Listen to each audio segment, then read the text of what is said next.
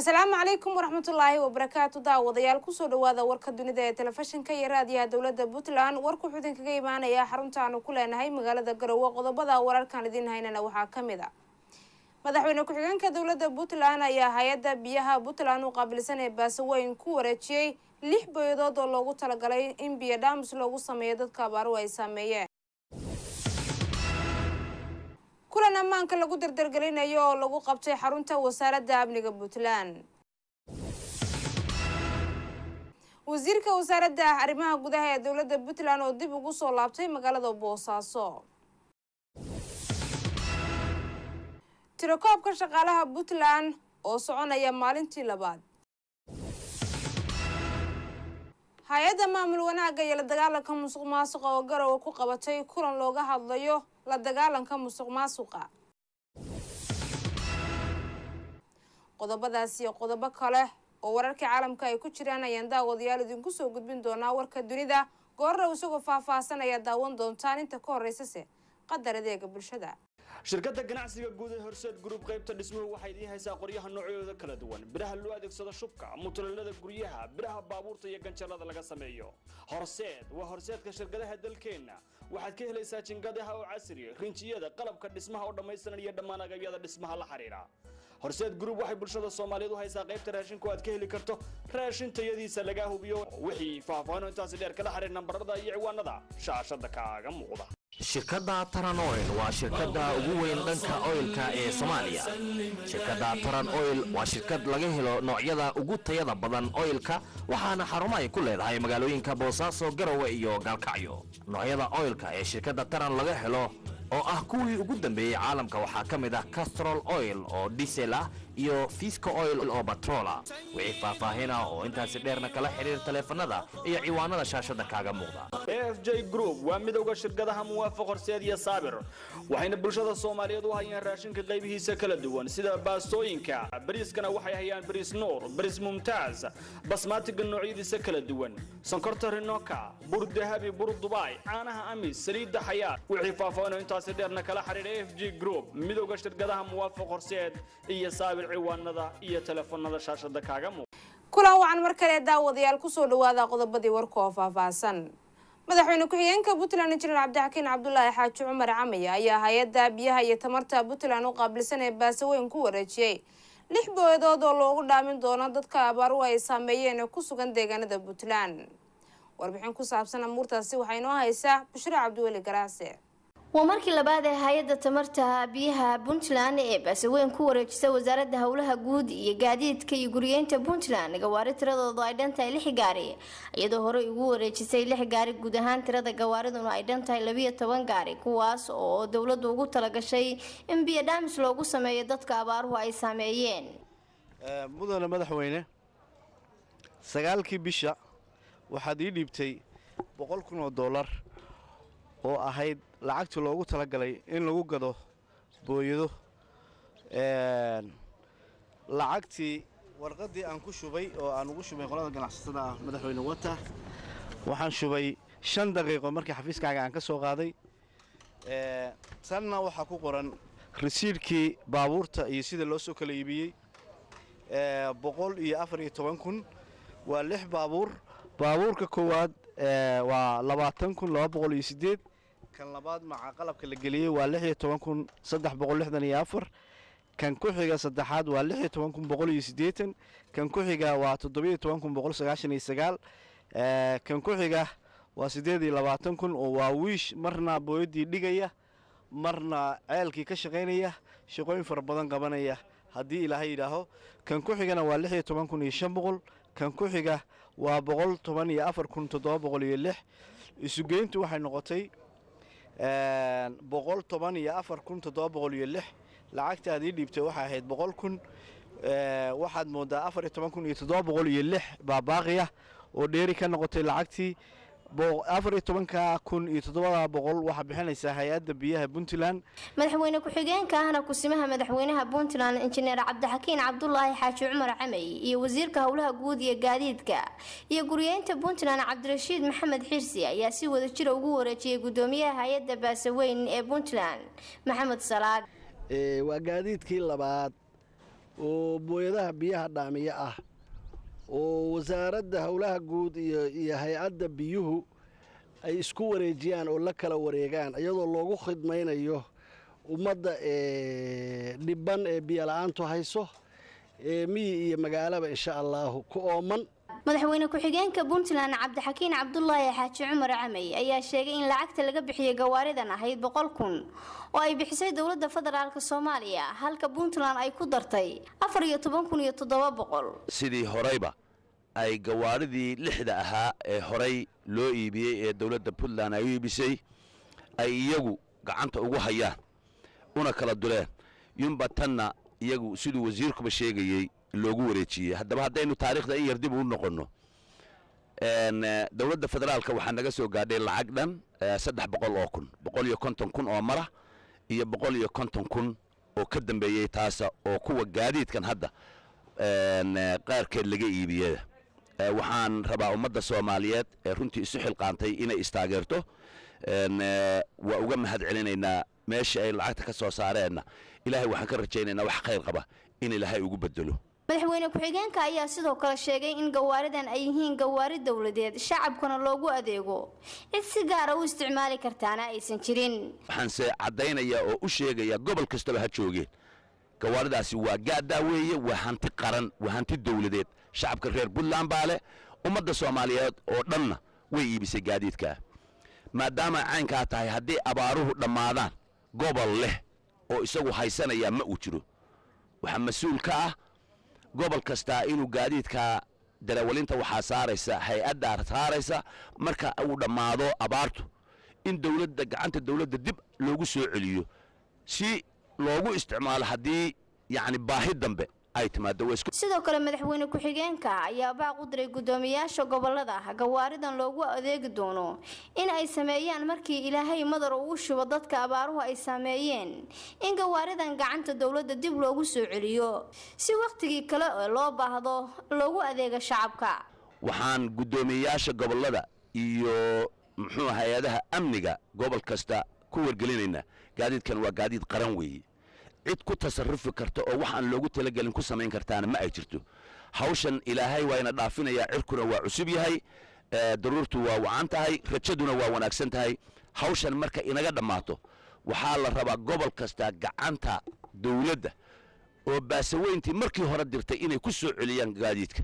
Bushra cabdiweli garaase tv-ga iyo raadiyaha dowladda puntland garowe wasiirka amniga dowladda puntland iyo talisyada guud ee ciidamada puntland ayaa kulan ku yeeshay magaalada garowe ee caasimada puntland. Kulankani waxaa lagu magacaabay xubno ka mid a talisyada guud ee ciidamada si ammaanka loo dardargeliyo. Warbixin ku saabsan amuurtaasi waxaa inoo haya maxamed siciid qoslaaye kulankan looga tashanayay xaaladda amniga ee dowladda puntland waxaa ka qayb galay inta badan talisyada ciidamada difaaca booliska asluubta nabad sugidda ee dowladda puntland iyadoo uu shir guddoominayay wasiirka amniga ee dowladda puntland cabdi xirsi cali qarjaba. Wadaxaajoodka amniga khuseeyey muddadii uu socday waxaa si faahfaahsan ay talisyadu uga wada hadleen xogta dhanka amniga ee puntland iyadoo ugu dambayntii la isku raacay in kor loo qaado feejignaanta dhanka ammaanka ee puntland. Kulankan oo saxaafaddu intuu socday ay dibadjoog ka ahayd waxaa markii uu soo gebagaboobay la hadlay saxaafadda wasiirka amniga ee dowladda puntland cabdi xirsi cali qarjab. Arrinta lagaga hadlayana waxay arrintaas ku saabsanayd amniga guud ee puntland xaaladiisa in la iska wareysto iyo meeshuu marayo iyo waxa loo baahan yahay in la qabto oo tallaabooyin in la qabto. Dhammaan hay'adahaas oo dhan waxay ka hadleen xaaladda jidha ayaa laga wada hadlay oo amni oo guud ee puntland ama soomaaliya xaaladeeda. Kabacdi hadal kabacdina waxaa la soo saaray qodobo dhowr iyo tobana in wax laga qabto. Horta amniga guud ee puntland meel kastoo ay joogto ciidamada dowladda puntland in heegan buuxa ay galaan oo difaac. Waxaa kaloo la soo jeediyey guddoomiyaasha gobollada iyo guddiyada nabadgelyada heer gobol in iyaguna shaqadooda ay aada dardargeliyaan gobollada ay guddiga nabadgelyada ka yihiin iyagoo kaashanaya laamaha amniga ee gobol kasta jooga iyo ciidamada ku sugan ee goboladaas waxaasoo dhan kabacdi waxaa la isla soo qaaday in loo baahan yahay maanta guddi farsamo oo arrinatan soo khulaaseeya oo qodobo cadcad ka soo saara isla markaasna arrintaa la dhaqan geliyo guddigaas waxaa ay ka kooban yihiin toddoba xubnood ayay ka kooban yihiin. Taliyaha ciidanka taliyaha guud ee ciidamada difaaca dowladda puntland guddoomiyaha loo aan uga dhignay. Taliyaha ku-xigeenka taliyaha asluubta guddoomiye ku-xigeen baan ka dhignay labaad. Taliyaha ciidanka booliska xubin taliyaha ciidanka nabad sugidda xubin agaasimaha guud ee madaxtooyada xubin guddoomiyaha maxkamadda ciidamada dowladda puntland ee militariga xubin xeerlaaliyaha guud ee ciidamadana waxaan ka dhignay xubin toddobada xubnood waxaa loo saaray arrimaha emergency-ga oo jira oo la rabo maanta in la qabto inay si hoose uga soo u soo qorsheeyaan. Dabadeedna ay wasaaradda ku soo celiyaan.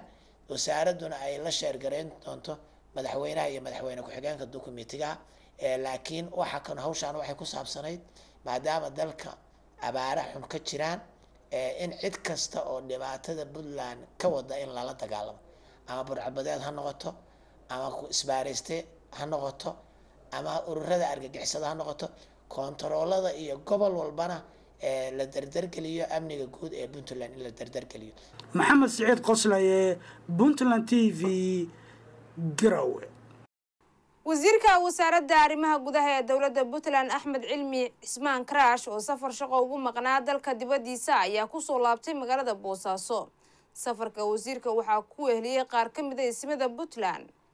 Warkan boosaaso waxaa nooga soo diray waryaheena cabdiraxmaan ibraahim maxamed.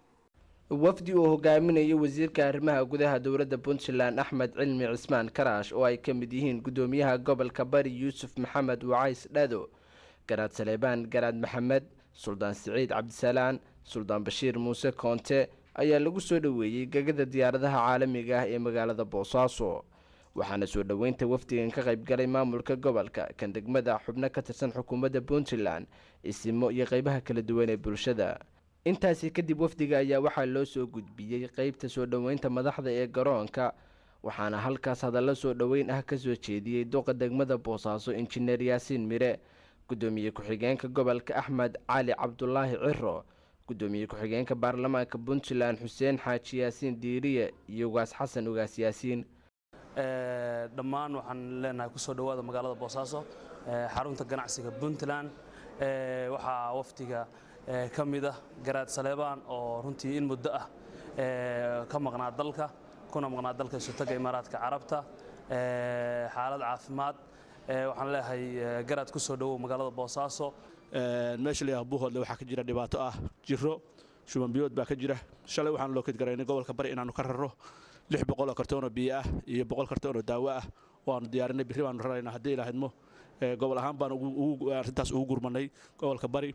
Marka waxaan rabnaa haddii ilaahidmo in la duceeyo ilaahay la baryo isimadu ay dadka u duceeyaan dhibaatada ka jirta iyo abaarta jira in ilaahay ka saaro. Aad baan idin soo dhoweynaynaa aad baad umahadsantihiin waxaan ku soo dhoweynayaa waxaan ku soo dhoweynayaa guddoomiye ku-xigeenka baarlamaanka. Dhammaantiin waxaan leenahay soo dhowaada dalka abaara waa ka jiraan iyo xanuunnaba laakiin sida kale waa degan yahay waana fiican yahay. Nin badan oo mataqaanaa garaad saleemaan ka maqnaa dalka oo ku maqnaa mataqaanaa xaalad caafimaad. Ilaahay isagoo nabad qaba oo caafimaad qaba ayuu maanta keenay. Waxaan leenahay garaad soo dhowow ishaar fiican baana maanta meesha ka muuqataho ismo wax soo dhoweynaya ismo la soo dhoweynayo iyo waftigii ballaaraa oo hogaaminayo wasiirkii arrimaha gudaha. Garaad saleebaan garaad maxamed oo dalka uga maqnaa xaalad caafimaad muddo dhan sannad iyo shan bilood ayaa sheegay in ay nasiib wanaag u tahay inuu dib ugu soo laabtay dalkiisa hooyo isagoona sidoo kale madasha ka duceeyey marka horta maanta nasiib wanaag bay ii tahay. Haddaan gobolkii bari ku soo degay oo raggii oo dhammi joogo xooggiisii ragga magacyada badan leh rag iyo dumarba la joogo nala soo dhoweeyey kalgacaylka naloo soo dhoweeyey iyo wanaagga iyo tollimada iyo wanaagga nala tusay aad iyo aad baan ugu mahadnaqaya ilaah mahad leh ilaah noo hamba qabo ilaah dadka hamba qabo ilaah naga qaad roob noo soo dedej ilaah kaa barinay oo dheefatiin leh oo caafimaad qaba. Aan cudur ku dheehnayn ugu dambeyntiina wasiirka arrimaha gudaha dowladda puntland axmed cali cismaan karash ayaa ka warbixiyey safarkiisii uu ku joogay dalka isutaga imaaraadka carabta. Hawshaa aad maqasheena ballaadhan ee shaqada imbortanka ahayd dekedda. Ayaanu ku maqnayn waxaanu idinku bashaarinaa hawshaa in lagu soo guulaystay oo meel wanaagsan ay marayso. Waxaan rajaynaynaa muddo dhow inay inoo shaqayso dekeddaas iyadoo deked weyn oo internationala sida eerboordhadu inoogu shaqeeyeen oo ballanqaadkii dowladdu madaxweyne cabdiweli uu ballan qaaday iyo iyo maamulkiisu. Cabdiraxmaan ibraahim maxamed raadiyaha iyo telefishinka dowladda puntland magaalada boosaaso guddiga dib u habeynta shaqaalaha puntland ayaa maalintii labaad wada shaqada lagu tiro koobayo shaqaalaha rayidka ah ee puntland oo la bilaabay afar labaatankii bishan aanu ku guda jirno maxamed siciid quslaaye ayaa warbixintan mar kale inoo haya. Shaqaalahan la tiro koobay ayaa bogaadiyey tallaabada ay qaaday dowladdu waxaana ay caddeeyeen inay ku qanacsan yihiin go'aamada dowladda ee la xidhiira helitaanka tirada rasmiga ah ee shaqaalaha rayidka ee dowladda puntland.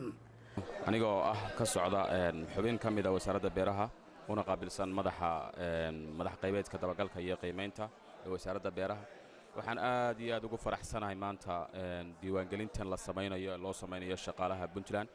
Waana horumar aad iyo aad u wanaagsan oo aan rajaynayno inay wax badan ka bedeli doonto shaqaalaha puntland. Waayo waxaa hore u jir jirta inaan shaqaalo rasmiya oo tirakoob rasmi aan laga haynin shaqaalaha puntland iyo wasaaradaha ay ka shaqeeyaan. Marka maanta tani aad iyo aad guul weyn ayay tahay ayaan rajaynayaa inay puntland u soo hoyan doonto laguna ogaan doono shaqaalaha rasmiga ah ee ka shaqeeya wasaaradaha ay ka kooban tahay dowladda puntland. Magacaygu waa cawli jaamac yuusuf waxaan ka tirsanahay wasaaradda shaqada shaqaalaha dhallinyarada iyo cayaaraha aad iyo aad baan ugu faraxsannahay reformka. Waxaana u arkaa inuu yahay wax loo baahan yahay had iyo goor haddii alla makuuraya dadka macnii xuquuqdooda si loo helo ama loo dhowro. Waxaa weeye marka waa ku faraxsannahay aad iyo aad baan ugu faraxsannahay foomka nala ka buuxiyey runaanti wuxuu ahaa foom aad u badan laakiin faa'iido u leh xogta rasmiga ah ee qofka markaas ah shaqaalaha dawliga ah ah xogtiisa rasmiga ah gaar ahaan waxaan ka xasuustaa magaca qofka shaqaalaha ah iyo backgaroundkiisa meeshu ku dhashay xilliguu dhashay intuu jiro waxa weeye markaas xirfadda ama wuxuu shaqada markaa uu hayo iyo markaa bosishinka uu hayo qofku saraakiil u hadashay hay'adda gacanta ku haysa tirakoobka shaqaalaha rayidka oo lagu magacaabo beeg.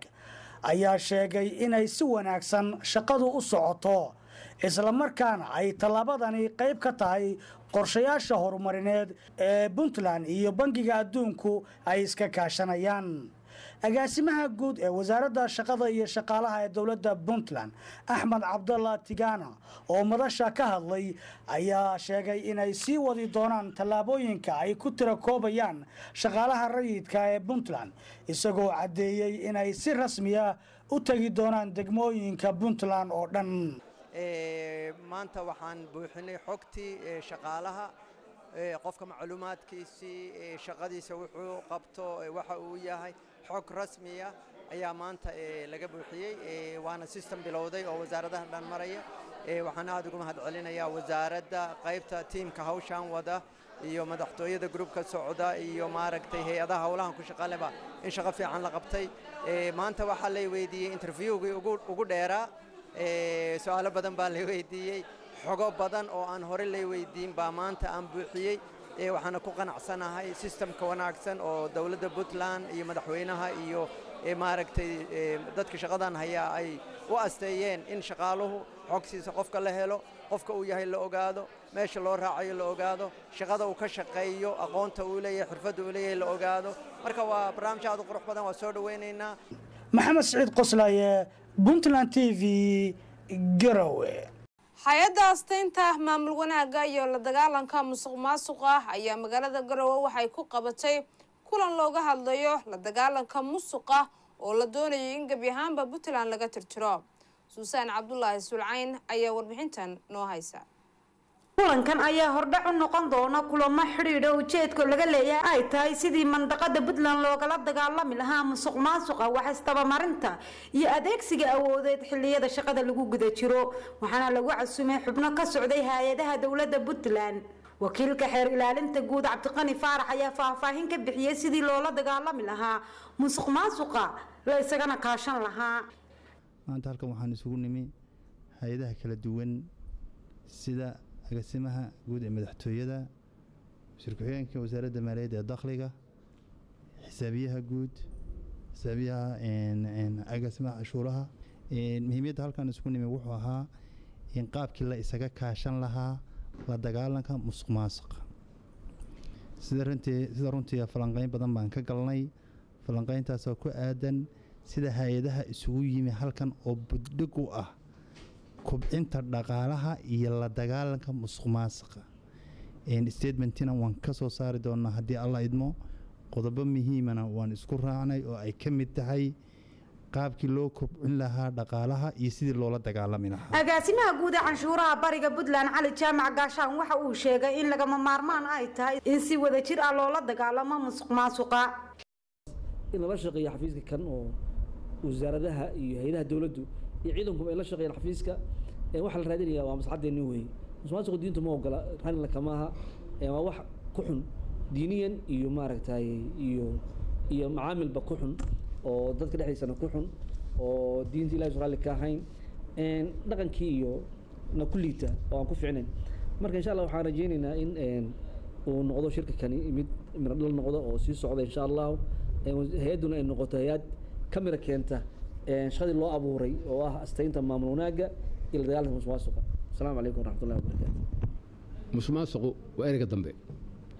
Marka waxaanu isku dhiiri gelinay ama maanta aanu ka hadlaynay waxa weeye marka hore inaanu dowlad ahaan la nimaadno ama aynu raadino maamul wanaag kabacdina loo gudbo wixii markaa toosi waaya.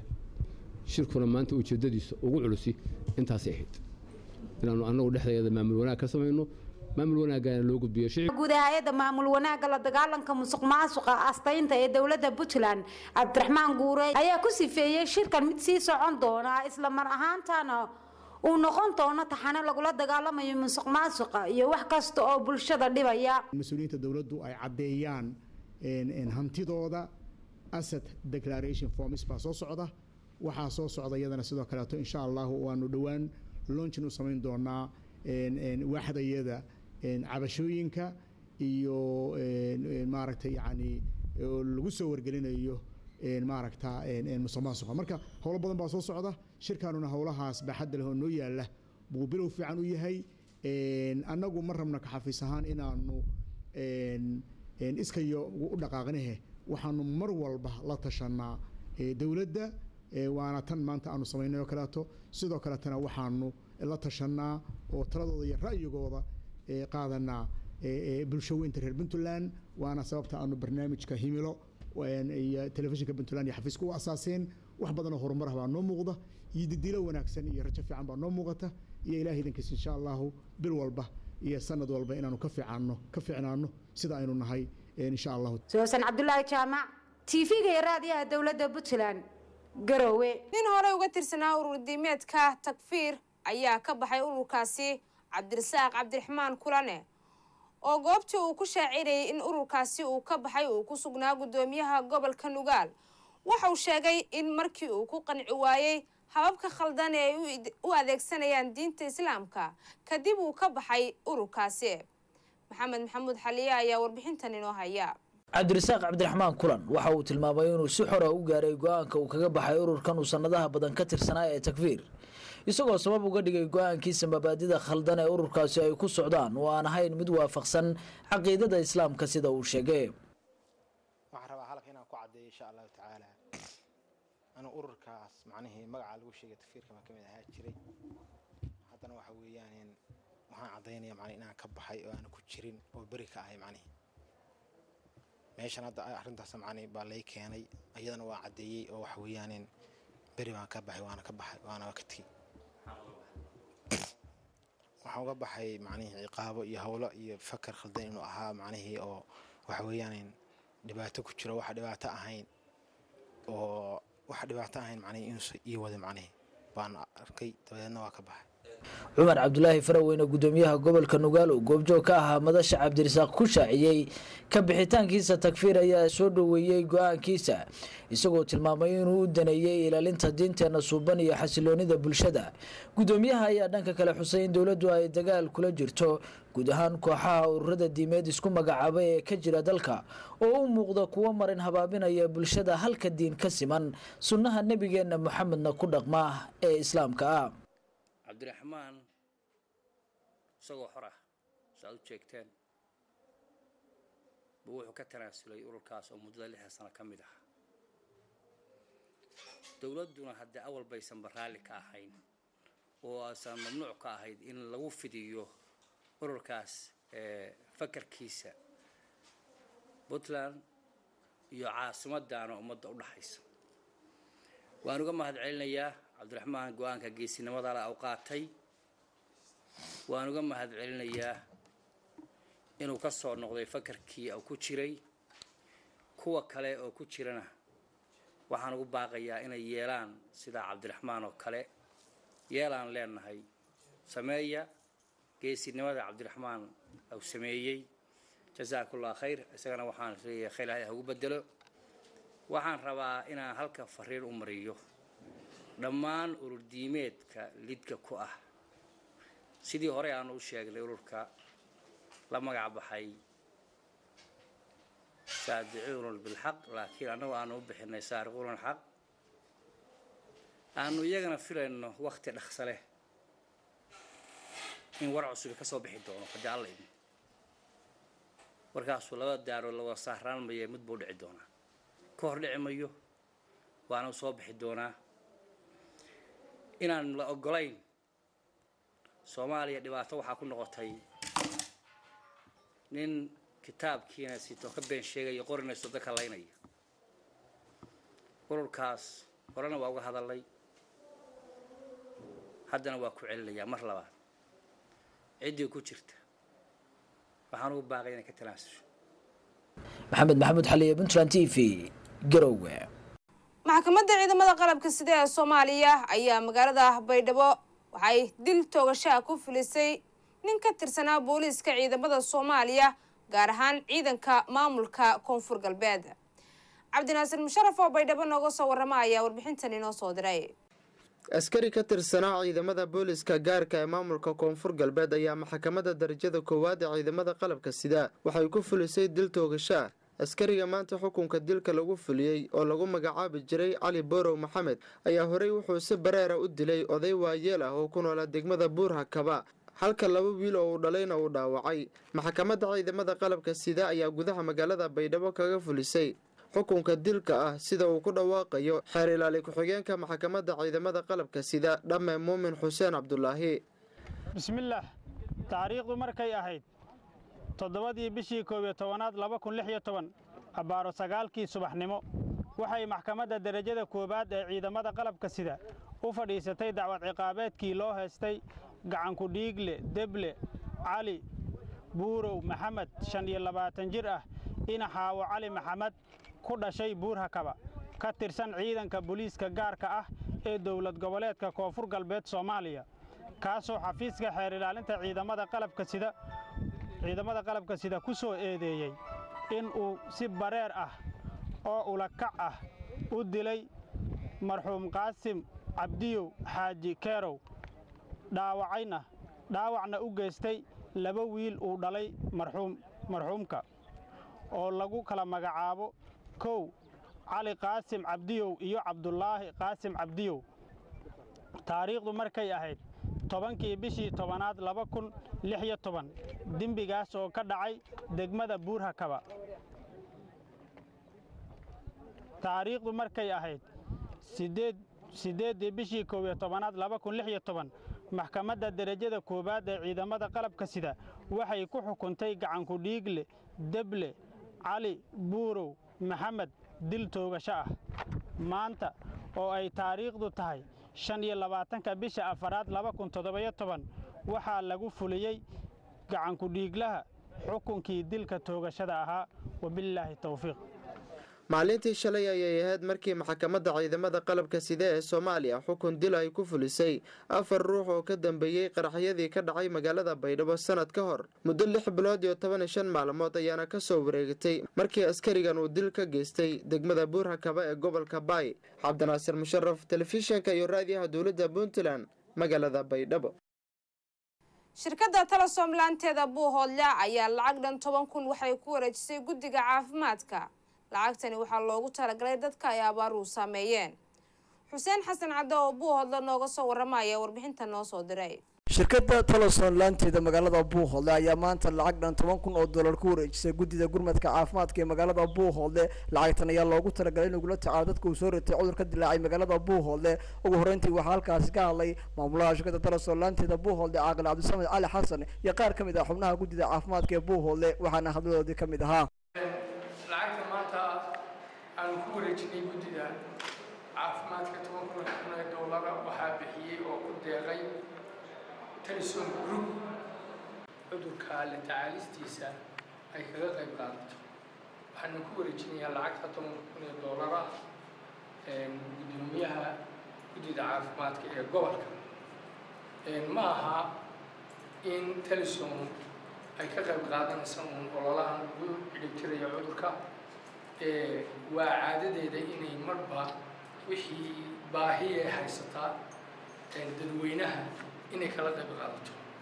Waxaa filaya inay aada u daraysan tihiin ololihii nadaafadda abaarihii iyo biyadhaankii qaybta libaaxa ay ka qaadatay talisom nastacin calaa umradi addunya wadiin guddida caafimaadka iyo madaxda shirkadda telesom saytka buuhoodlaba waa u mahad celinayaa